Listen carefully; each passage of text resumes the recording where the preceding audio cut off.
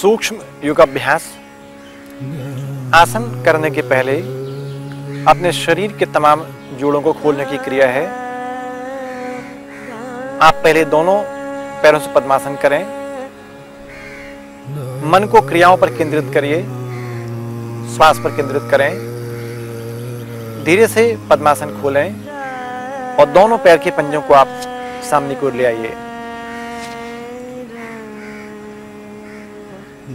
पैर की अंगुलियों के साथ आप मन को केंद्रित करें। अंगुलियाँ बंद करिए। एक, कस के दबाइए अंगुलियों को। उंगली छोड़ें, फैलाइए। दो, मन को अंगुलियों पर केंद्रित करें। महसूस करिए ऊर्जा को। छोड़िए। अब यही क्रिया आपको दोनों पैर के पंजों से करना है। दोनों पैर के पंजे सामने खींचिए, एक, और खींचें।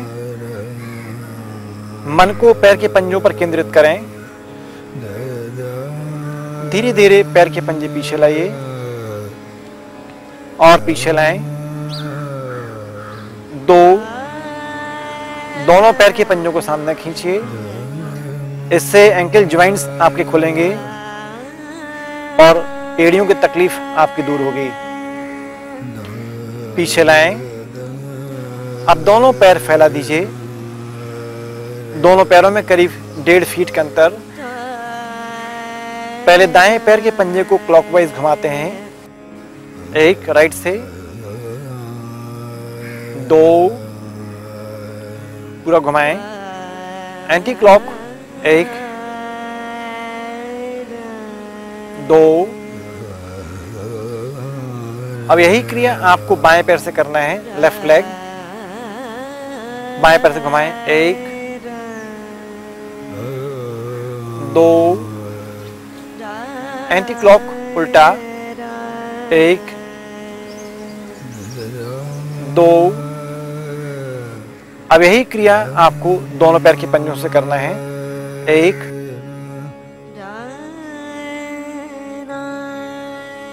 दो। उल्टा। एक। दो।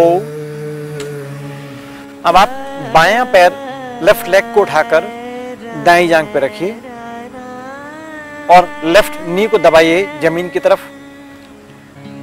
और दाएँ हाथ के तीली से आप बाएँ पैर के पंजों को पकड़ लीजिए कस के लेफ़्ट अब इसको साइकिल में घुमाना है। नीचे से ऊपर की तरफ़, एक क्लॉकवाइज दो एंटी क्लॉक उल्टा, एक, जो भी एक्शन आप कर रहे हैं, दो, मन को वहाँ केंद्रित करें। अब यही क्रिया आपको दाएँ पैर से राइट से करना है। लेफ़्ट लेग आपका बिल्कुल सीधा,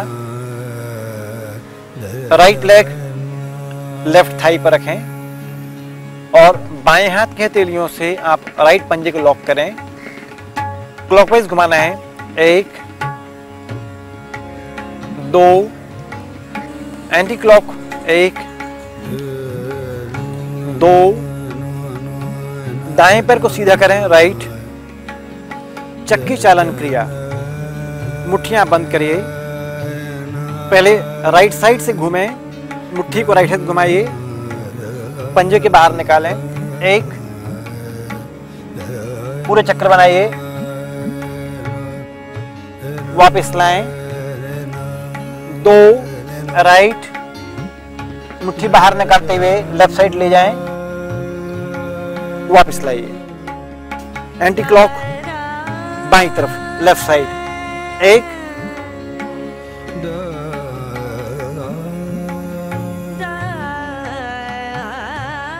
वापस लाएँ। तितली आसन। दोनों पैर के पंजे मोड़िए और दोनों पैर के पंजे मिलाइए आपस में। पंजों को पकड़ लें और दोनों घुटनों की ज़मीन की ओर चलाने का अभ्यास करिए। बटरफ्लाई।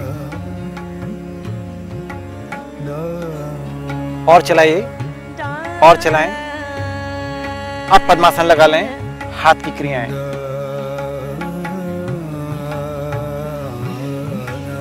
दोनों हाथों को आप सामने की तरफ़ खींचें। हाथ की मुट्ठियाँ बंद करेंगे। एक, कस के बंद करिए। छोड़ें। दो, छोड़िए। हाथ नीचे लाएँ, पंजा। एक ऊपर लाएँ। दो। ऊपर लाइए। मुट्ठियाँ बंद करें। क्लॉकवाइज घुमाना है। एक। दो। उल्टा। एक। दो। दोनों हथेलियाँ अब कन्नों की तरफ़ लगाना है। एक टच करिए कन्नों को। वापस लाएँ। दो। वापस लाएँ। अब दोनों एल्बो कंधों के समानांतर दोनों कंधे फैलाएँ। एक, वापस लाएँ। दो, वापस लाइए। दोनों हाथ आसमान की ओर जाएँगे। एक, और ऊपर खींचिए। वापस लाएँ। दो, वापस लाएँ। हाथ नीचे ले आए। गर्दन को बाई तरफ़ ले जाइए लेफ़्ट साइड लेफ़्ट एक। और ले आइए। वापस लाएँ। राइट साइड दो।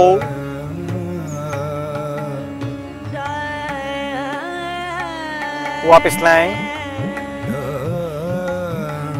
गर्दन को सामने को लाइए।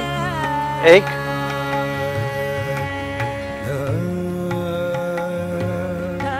पीछे ले जाएँ।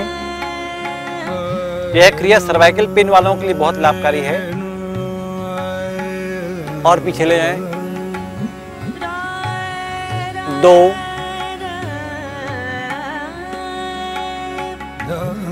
वापस ले आए।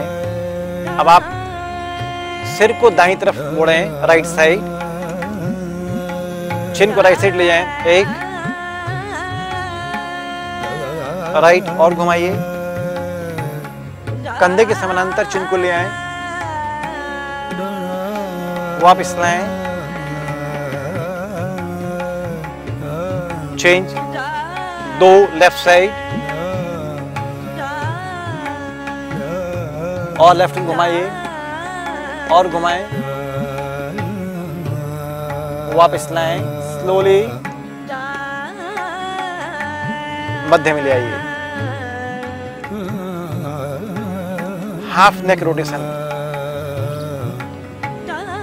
गर्दन को राइट साइड घुमाना है राइट साइड नीचे लाइए, एक।